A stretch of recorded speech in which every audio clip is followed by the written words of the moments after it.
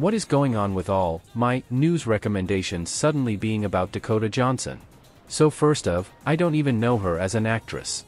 Her IMDb for reference, I have never even seen a movie or TV show that she was in.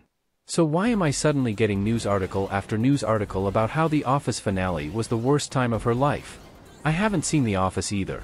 Or why should I care about whatever Madame Web is? Did she do anything super amazing recently that Google just feels I have to know?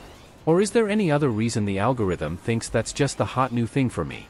Answer, you are being targeted by a marketing campaign. The news you are getting is promotional material to make you interested in Johnson so you might see her new movie, Madame Web. Something about you must fall within their target audience.